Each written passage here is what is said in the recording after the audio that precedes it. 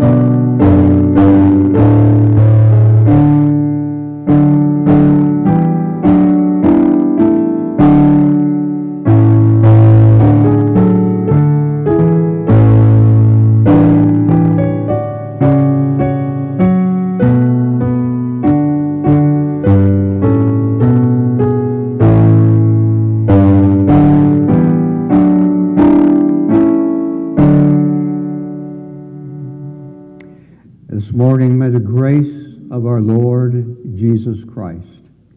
and the love of God, the communion of the Holy Spirit be with you all. Thank you. In peace, let us pray to the Lord. For the peace from above and for our salvation, let us pray to the Lord.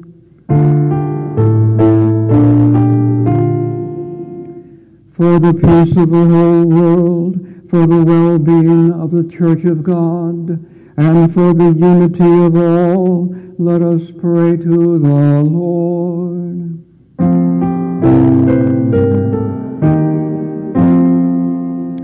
For this holy house, and for all who offer here their worship and praise, let us pray to the Lord.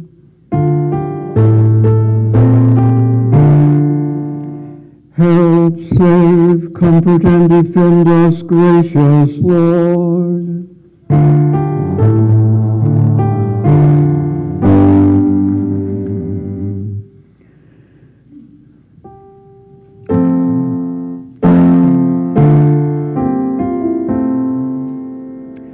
Glory to God in the highest, and peace to his people on earth.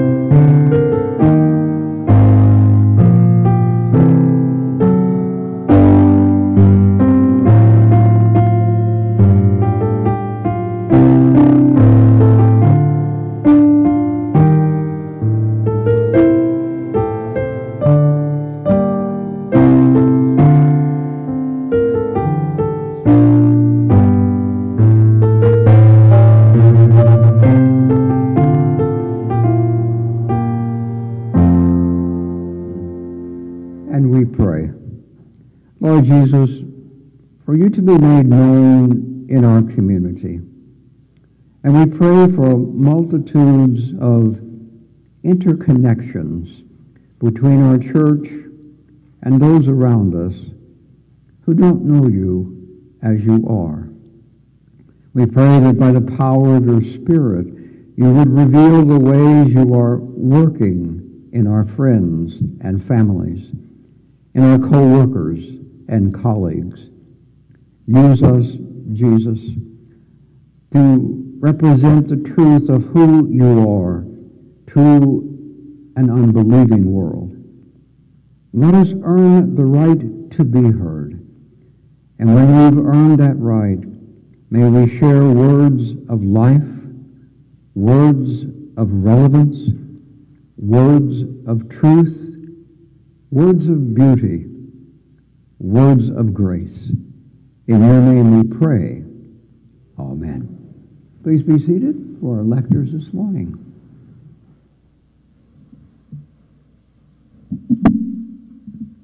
God calls Jeremiah to be a prophet and consecrates him in the womb. Jeremiah's task is to preach God's word amid the difficult political realities of his time, before the Babylonian exile.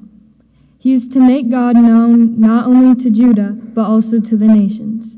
The first lesson is a reading from Jeremiah.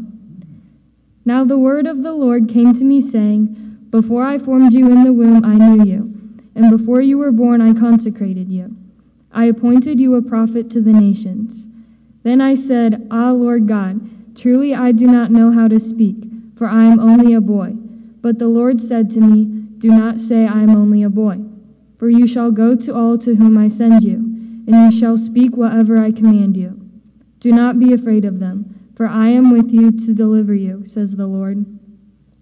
Then the Lord put out his hand and touched my mouth. And the Lord said to me, Now I have put my words in your mouth.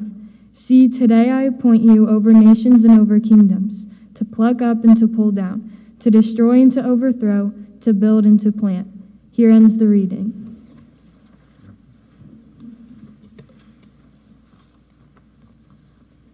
We will read this psalm responsively. From my mother's womb you have been my strength. In you, O Lord, have I taken refuge. Let me never be ashamed. In your righteousness, deliver me and set me free. Incline your ear to me and save me. Be my strong rock, a castle to keep me safe. You are my crag and my stronghold. Deliver me, my God, from the hand of the wicked, from the clutches of the evildoer and the oppressor. For you are my hope, O Lord God, my confidence since I was young. I have been sustained by you ever since I was born. From my mother's womb you have been my strength. My praise shall be always of you.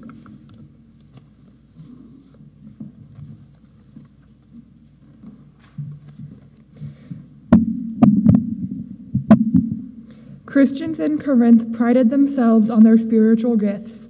Paul reminds them that God gives us many gifts through the Holy Spirit, but the purpose behind all of them is love, the kind of love that God showed us in Jesus Christ. The second lesson is from the 13th chapter of 1 Corinthians. If I speak in the tongues of mortals and angels, but do not have love, I am a noisy gong or clanging cymbal. And if I have prophetic powers and understand all mysteries and all knowledge, and if I have all faith so as to remove mountains, but do not have love, I am nothing. If I give away all my possessions, and if I hand over my body so that I may boast, but do not have love, I gain nothing. Love is patient, love is kind, love is not envious or boastful or arrogant or rude. It does not insist on its own way, it is not irritable or resentful. It does not rejoice in wrongdoing, but rejoices in truth. It bears all things, believes all things, hopes all things, and endures all things. Love never ends, but as for prophecies, they will come to an end. As for tongues, they will cease. As for knowledge, it will come to an end. For we know only in part, and we prophesy only in part. But when the complete comes, the partial will come to an end. When I was a child, I spoke like a child. I thought like a child and I reasoned like a child. When I became an adult, I put an end to the childish ways. For now we see in a mirror, dimly, but then we will see face to face. Now I know only in part, then I will know fully, even, I, even as I have been fully known. And now faith, hope, and love abide, these three, and the greatest of these is love. Here ends the reading.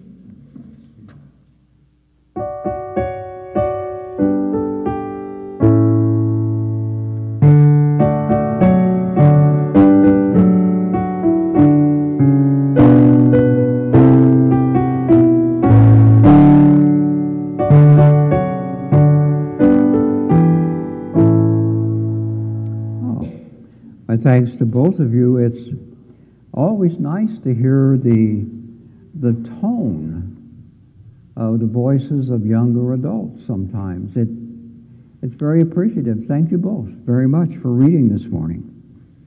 The Holy Gospel this morning is a follow-up from the one that we had last Sunday, and it is according to St. Luke, the fourth chapter. Glory to you, O Lord. Then Jesus began to say to all in the synagogue in Nazareth, Today the scripture has been fulfilled in your hearing. He was speaking of Isaiah that he read from. All spoke well of him and were amazed at the gracious words that came from his mouth. They said, Is this not Joseph's son? He said to them, Doubtless you will quote to me this proverb, Doctor, cure yourself. And you will say, Do you hear also in your hometown the things that we have heard you did at Capernaum? And he said, Truly I tell you, no prophet is accepted in the prophet's hometown.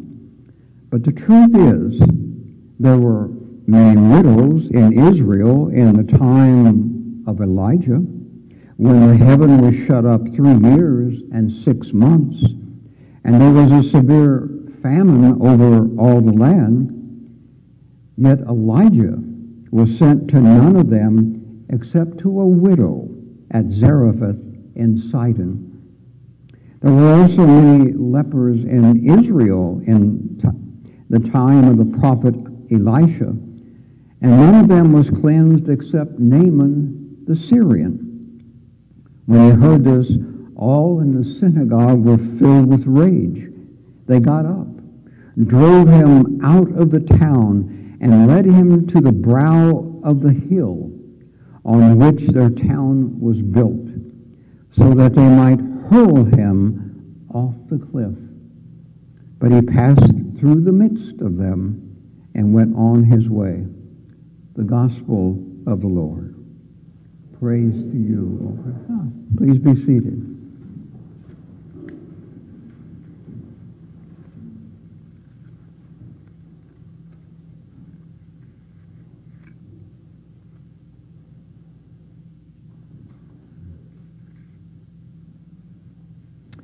Why do we sometimes worry ourselves silly over something so trivial when it gets lost? Why does that bother us? It's always in the last place that you left it, right? but why do we worry so much over that which is lost? I see that idea coming up in this book of Luke that we will be reading from in the Sundays of ahead. The book contains stories about the lost sheep, the lost coin, the lost son. The lost are all over the pages of the Bible, not just in this one book. There are the lepers who were lost. There was that widow at Zarephath that was lost. So many people in scriptures, when you come to think of them and about them, were lost. My question is what are we supposed to do as believers about these people we know who are lost in life? What's our responsibility? Excuse me. What are we supposed to do? Let us pray. Lord Jesus, you have given us the responsibility as believers to be concerned about those we know who are lost. They are meant to be sheep of your fold, not creatures that wander aimlessly through life. And we have a distinct responsibility to these people. Help us, Lord, to respond to them with our talents in the times and ways that we can.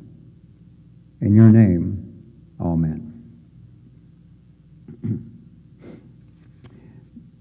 I read the other day where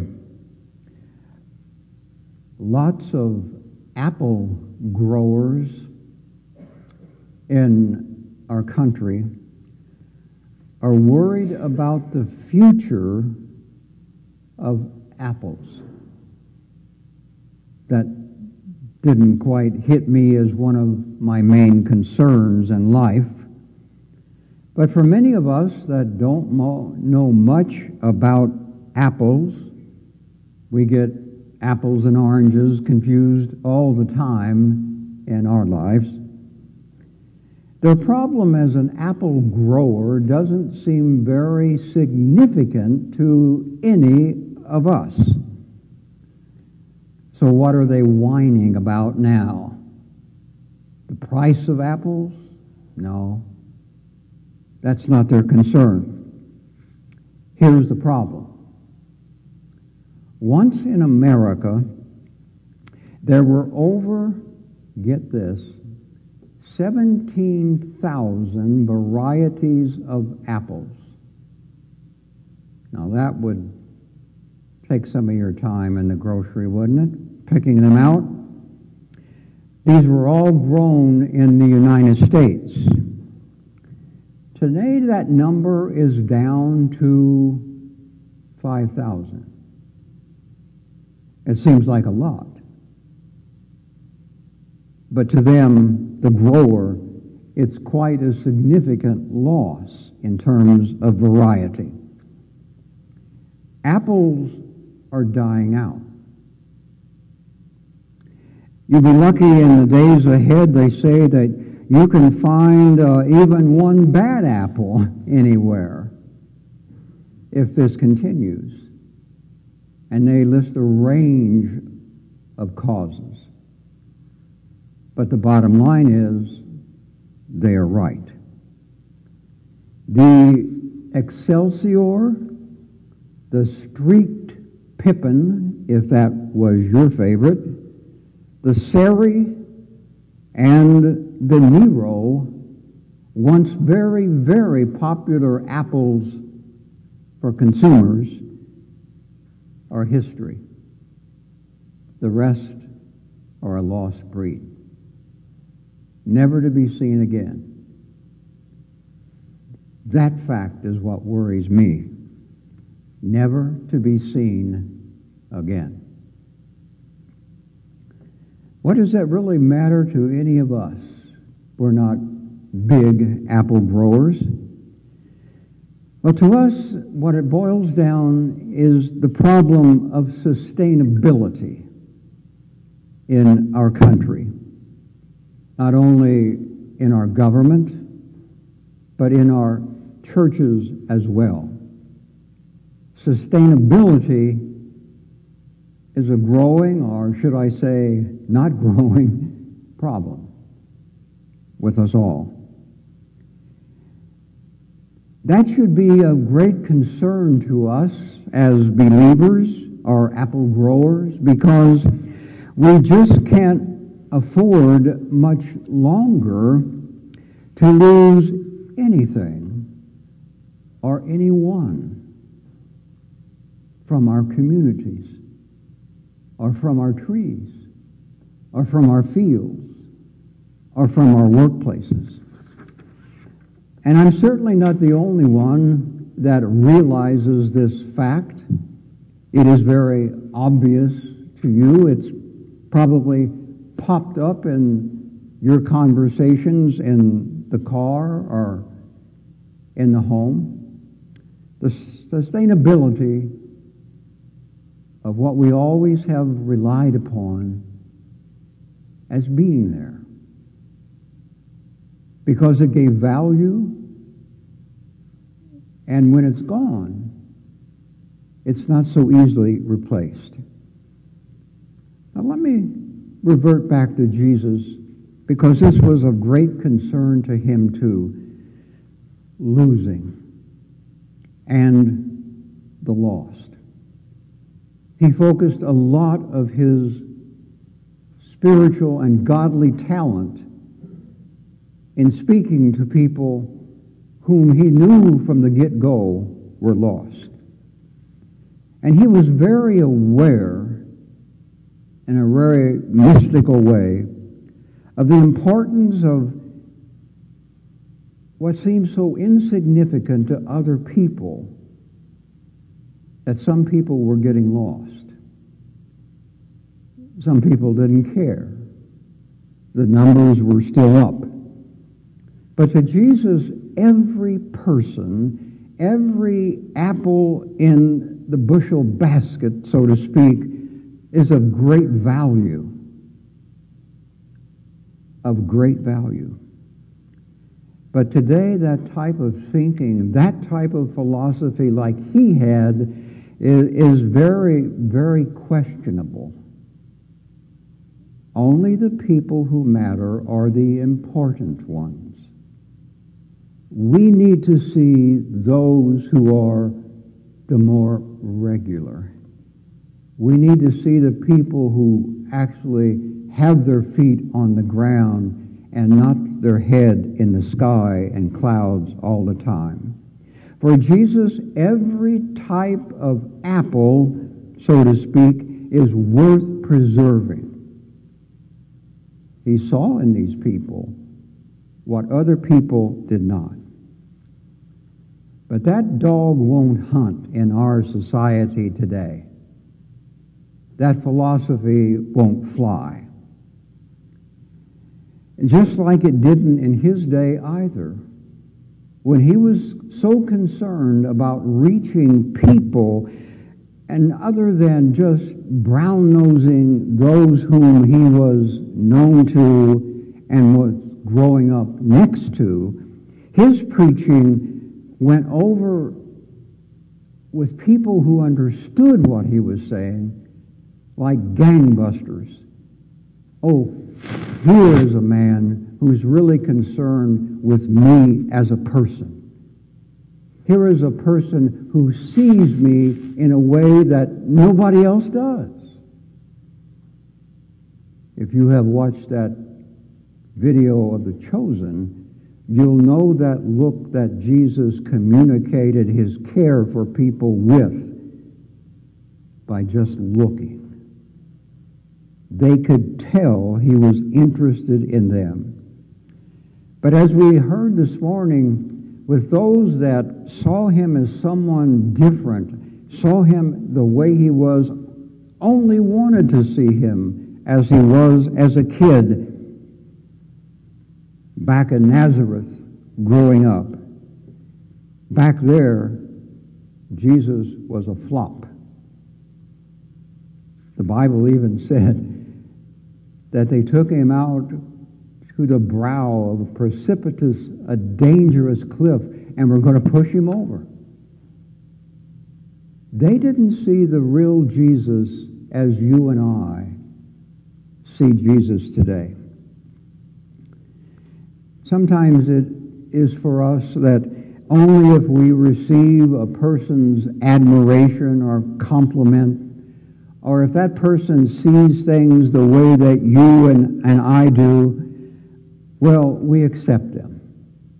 We don't ostracize, we don't abandon, we don't pull back our friendship as long as they see things like us.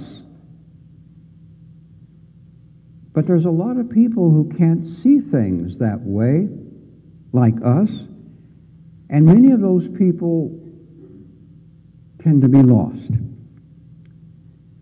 It's not so much what people think about our ideals and our morals and our religions and our practices on Sunday morning that matters to so many who are wavering and wandering and back and forth in terms of hot and cold in their relation, if any, to Jesus Christ. What matters is that we see these people as a person, as one who has been created and given a soul, a body, and feelings by God Himself. That, in my way of understanding, is how you and I are to see people like Jesus did. Everyone was valuable. He doubled down on that way of looking at people a lot, if you notice in Scripture. And even though it, the scripture says no prophet is ever accepted in his own town where he grew up, I know that for a well-known fact, and he was right. Because there was a time that I so wanted to be interviewed at my home church when it was vacant. But then it hit me. After those people knowing and remembering me as a kid in that church, as the one who sat in the balcony on Sundays and made paper airplanes, remembering that about me, they would never accept me. Jesus always focused upon those whom he could call, who saw him for who he had grown to be God's Son. He was a completely different person than those in his hometown remembered him as being. And for some uncanny reason, the people that Jesus reached out to in his ministry, admiring a person who was generally concerned for the real underdog of life, that was Jesus. That was written all over him. He was all about, in his ministry, caring for the kid who didn't have very much going for them in life. He knew the kid that came from the dysfunctional family whom he felt he had to reach. He had the kids that grew up around him that didn't get that brand new Mustang on their 16th birthday and were never a part of the group of the kids that did. He was one that stood side by side by the ones who had to struggle for everything that they got in their life and work for it when others never had to raise a finger and got everything. He was with those people, I assume, that had problem even in their day with drinking and gambling and chronic illnesses that just would never let go of them. Those are the types of people that so many of us we want to forget in our life and keep it at least an arm's length. But not Jesus. He was always caring for those that everybody else thought was lost and never worth finding or caring for.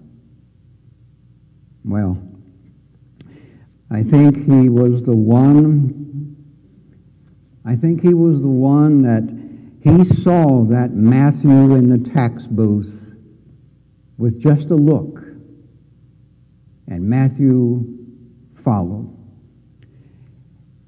He saw the boy who thought he could make it on his own in that fishing business of his day, but it was overrun by the big ships and the big catches, and the small guy never had a chance to make it in life. He saw that person and called him. He saw a person as hot-headed and as quick to put up his fists as was Simon. And he saw the Marys in life who constantly were worrying about what was going to happen to people. He's the one who came out to seek and to save the lost. And that's not very popular today, granted. But he wants to save all the apples in the bushel basket, not just a few. You and I today, as members of a church, that means a, commun- a community that actively worships God in our services. You and I have to ask ourselves, who are those apples today? Apples that are getting tossed out of the basket, kicked aside, run over, by the wheels of a tractor, those whom we say they're lost and not worth it. Who are they today that maybe we should be focusing upon? And sometimes you don't have to take too many steps too far to find these people. They are people, even among us, believe it or not, who feel like they are beyond the reach of any of us to help them. Those are the people that need us perhaps the most. They are the people that goes from, go from one chronic illness to another that you and I, after a few Sundays, we kind of forget them. There's a host of these people that are out there, and they need the contact, the communication. They need the feeling that they are not so far gone or so far lost as someone has forgotten to reach out to them. And I know that many of the times that we reach out, they are people who, who they feel that they are beyond the good graces of any church. But the widow of Zarephath is out there. The lost coin that has fallen through the cracks of life is out there today. There is that lost sheep who isn't accepted or repulsed by the doctrines of some church. They are out there. There's a lost son or daughter whose pride won't ever let them come back. They need to be reached out to. All of these types of people are out there, and some are in here. But let's remember what our Lord Jesus said about them, what he showed to be their value to him, and then let us pursue that same route of letting people know that we care about them, that we care about one another, so that none of us will ever have to fear or worry about being lost. At least not from us. Amen.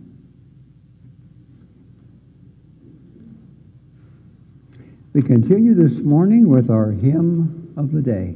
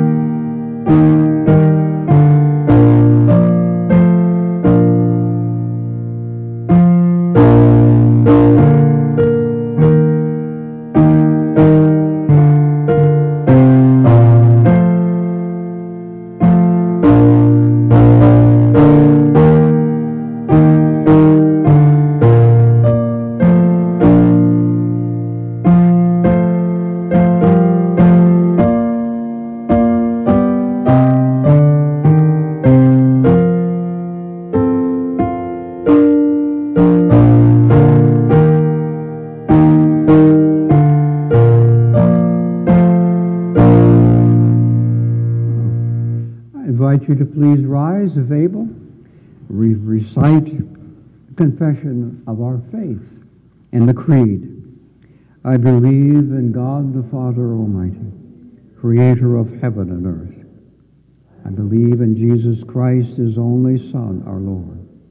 He was conceived by the power of the Holy Spirit and born of the Virgin Mary. He suffered under Pontius Pilate, was crucified, died, and was buried. He descended into hell. The third day he rose again. He ascended into heaven and is seated at the right hand of the Father. He will come again to judge the living and the dead. I believe in the Holy Spirit, the Holy Catholic Church, the communion of saints, the forgiveness of sins, the resurrection of the body, and the life everlasting. Amen. The Spirit of the Lord is poured out upon us in abundance. So we are bold to pray for the church, the world, and all that God has made. Guide your church in the ways of faith, hope, and love. Cultivate ministries and communities of compassion that bear witness to your enduring presence among us. God of grace, teach us to live in humility on the earth, curb arrogance that leads to destruction of natural resources and disregard for future generations. Inspire the work of scientists who urge us to live in harmony with your creation, God of grace. You are the refuge of all who seek hope and freedom. Accompany immigrants, refugees, and asylum seekers who cross borders legally to find safety and opportunity in the right path embolden leaders to draft compassionate policies on behalf of these migrants and those whose lives assist and are put in danger for helping them. God of grace. As you say, love bears, believes, hopes, and endures all things.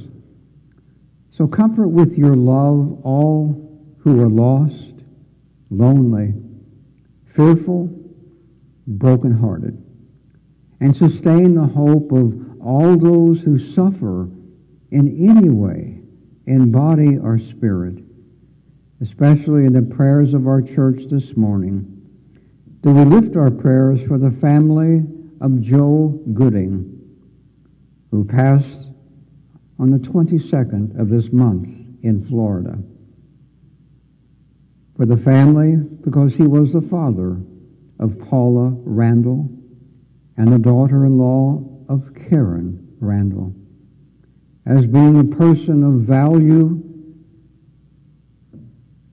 and our responsibility for sustainability in the church and thankfulness for all those who are your creatures that you have placed here. God of grace, as your grace falls upon the young and the old alike, bless the gifts of children in this congregation and our young adults, such as those who read this morning, and give us humble hearts all to follow their leadership.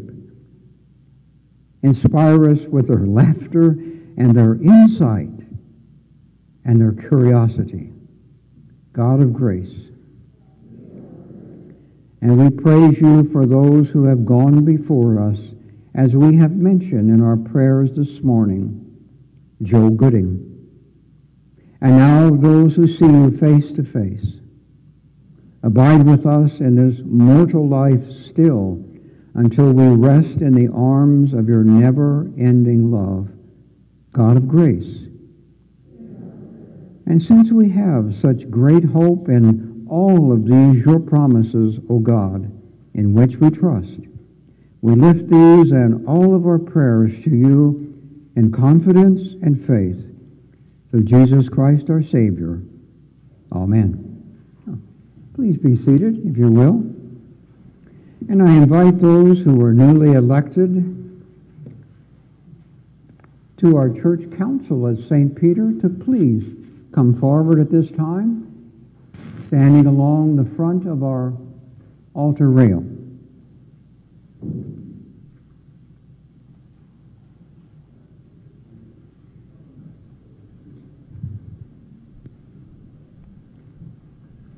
Oh,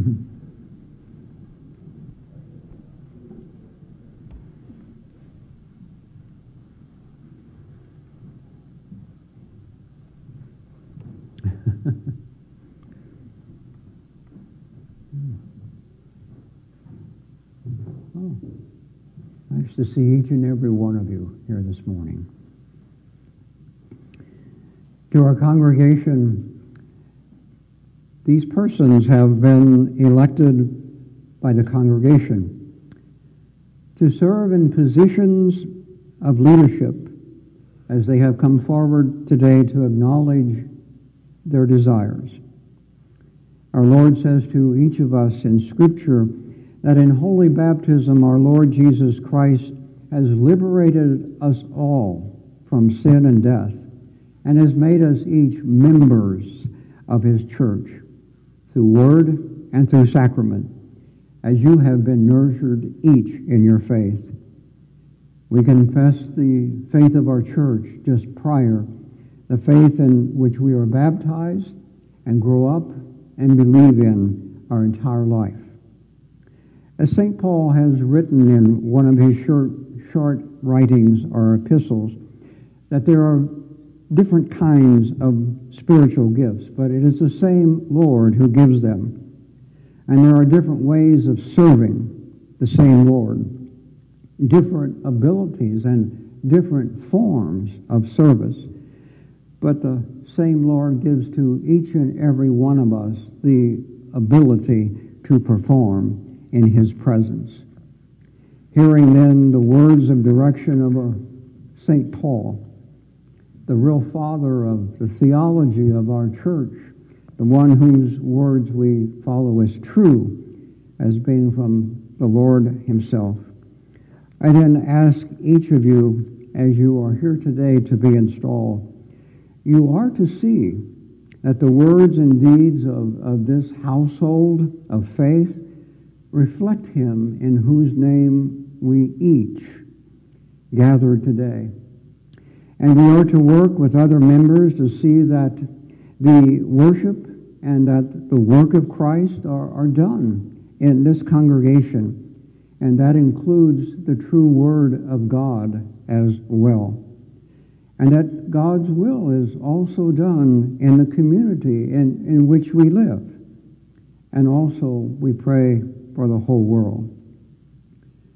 Each of you are responsible to be diligent in your, in your own specific area of serving, that the one Lord who empowers all of us is the one Lord who is served.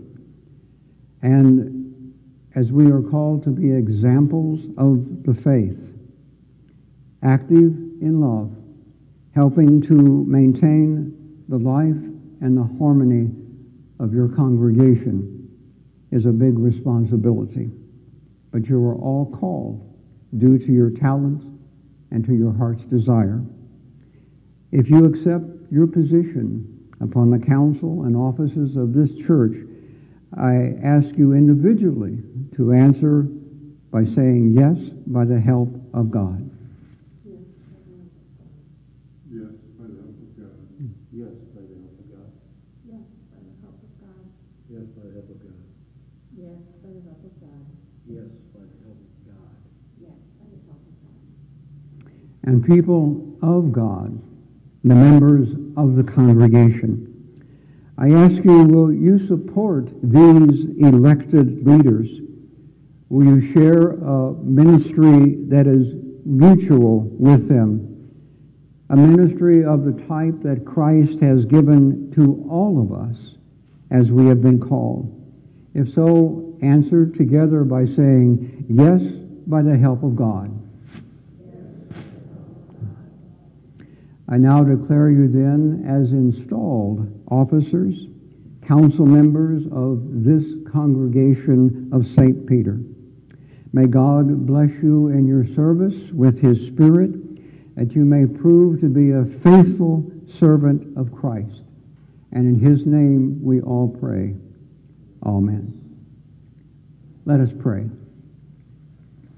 Lord Jesus Christ, as you have called many to be of service as they are able and according to the talents you have bestowed, we ask your blessing, we ask your resource, we ask your compassion, and we ask your confidence to be laid upon the shoulders and in the hearts of those who serve you by accepting this day as council representatives and as representatives of this Church of Christ, St. Peter.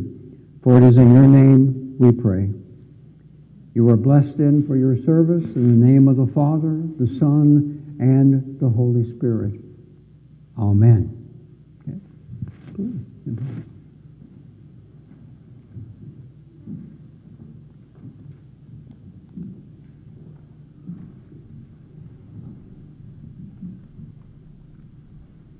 as they return to their seats. Uh,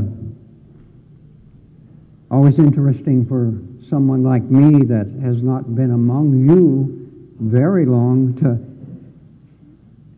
in a certain way, be able to see the talents and abilities of many people. Uh, and it doesn't mean just because you sit silently or do not wish to be a member of a church council or any it doesn't mean that you are not an important giving part of this congregation. Like that sermon said this morning, we're all just a bunch of apples. And as our Lord wants us to be, He wants us to be sustained as a group for years to come. Let us all work for that goal, which is a righteous one. Thank you. I ask you to rise if able.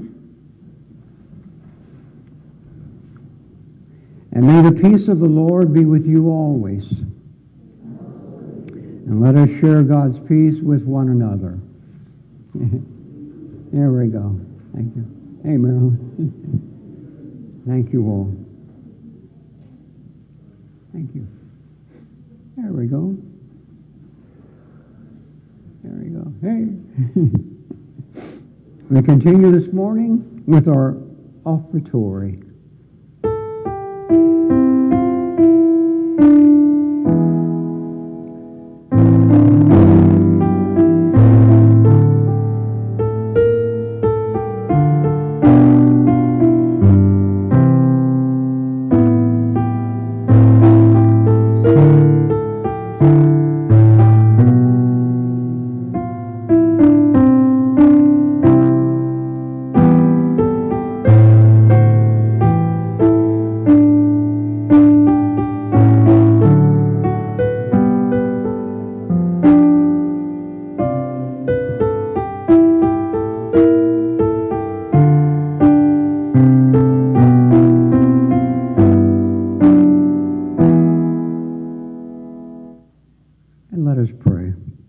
Merciful Father, we offer with joy, with thanksgiving, what you have first given us, ourselves, our time, and all our possessions, signs of your gracious love. Receive them for the sake of him who offered himself for us, Jesus Christ our Lord. Amen. The Lord be with you.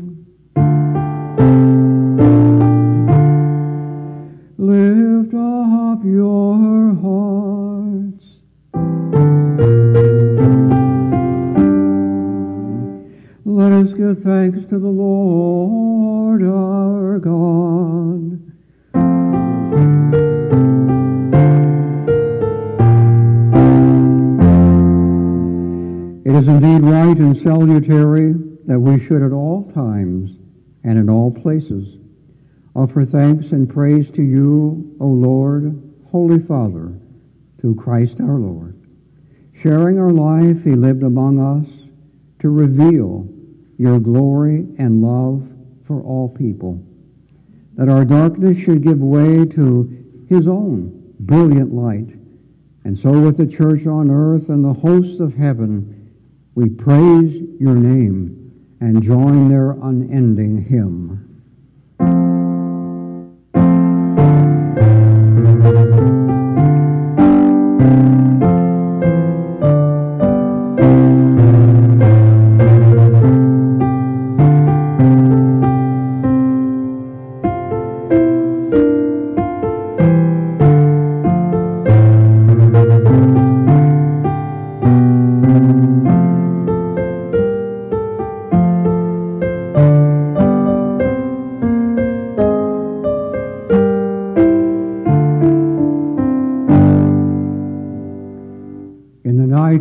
He was betrayed, our Lord Jesus took bread, gave thanks, broke it, gave it to his disciples, saying, Take and eat, this is my body given for you.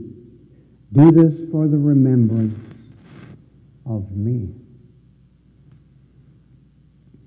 Again, after supper, he took the cup and gave thanks and gave it for all to drink, saying, This cup is a new covenant in my blood. It is shed for you and for all people for the forgiveness of sins. Do this as often as you drink it in remembrance of me.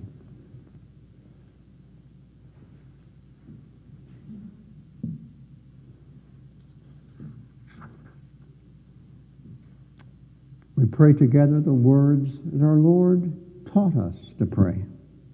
Our Father, who art in heaven, hallowed be thy name. Thy kingdom come. Thy will be done on earth as it is in heaven. Give us this day our daily bread, and forgive us our trespasses, as we forgive those who trespass against us. And lead us not into temptation, but deliver us from evil. For thine is the kingdom, and the power, and the glory, forever and ever. Amen. Oh, please be seated for just a few moments. Inviting you to prepare the wafer that is on the top part of your unit.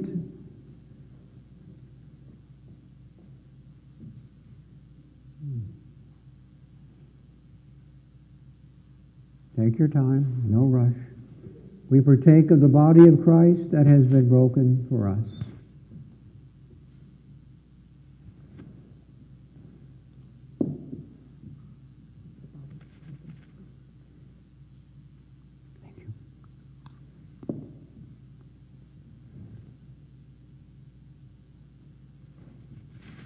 Preparing ourselves with the juice.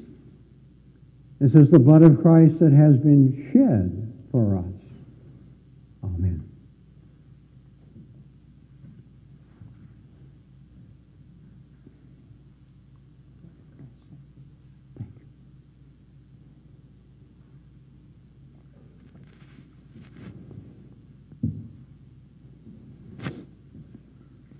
May the body and blood of our Lord and our Savior Jesus Christ strengthen and preserve you unto life everlasting.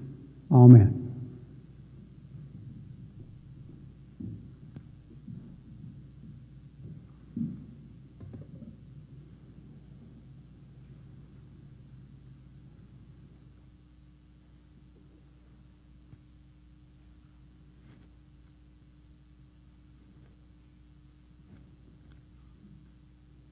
Pause just a few moments, allowing those units to be collected.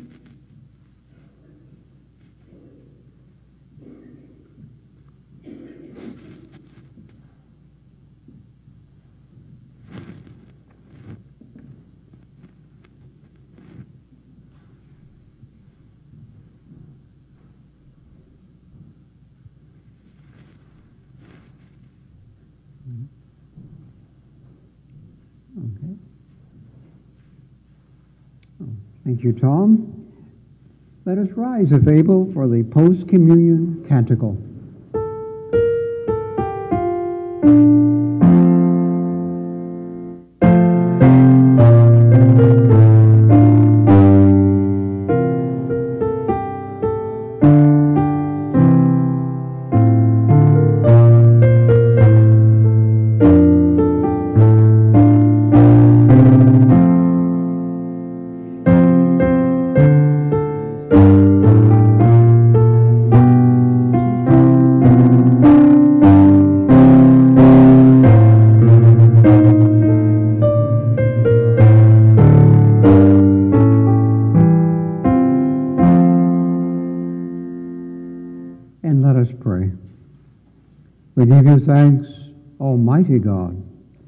That you have refreshed us through the healing power of this gift of life. And we pray that in your mercy you would strengthen us through this gift in faith toward you and in fervent love toward one another. For the sake of Jesus Christ our Lord. Amen. May the Lord bless you and keep you. May the Lord make his face shine upon you and be gracious unto you. And may the Lord look upon you with peace and give you his favor. Amen. We receive then the benediction of our Lord as we prepare ourselves with fervent love to reach out to the lost. The Word incarnate leads us out and into the world that we may embody His life to our family, co-workers, friends, neighbors. Go in the power then of God's Spirit to love as Christ loves us and to serve the world He came to save. Amen. We join in the doxology of our service.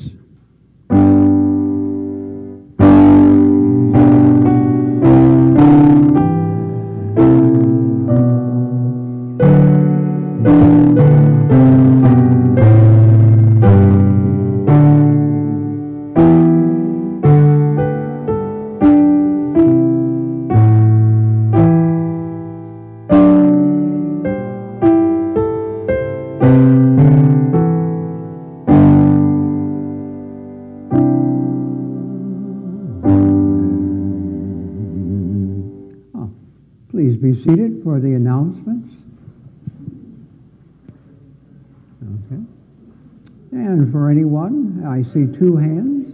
Okay. I just wanted, I just wanted to announce this week when you're at home thinking, what can I do? Bake some cookies because we are going to be wrapping cookies next week for um, our college kids to send out. Just wrap them individually. We'll wrap them, or, or we'll send them out after our meeting, our welcome meeting that everyone's invited to, the ladies, our salad luncheon right after church next week. And the third thing is we have back on the table um, in the upper room, there's some cards. If you have time after church, stop and sign them. They're for our homebound people for a Valentine's Day card, so we would love for you to do that too. Thank you. Yes. Yeah. There are donuts and coffee downstairs. And I don't know how Rosemary can bake cookies with Tom retired now. How is she going to get them to the church?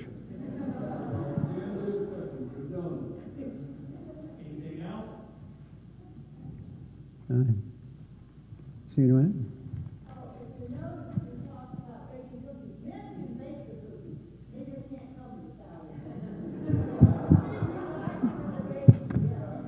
There we go.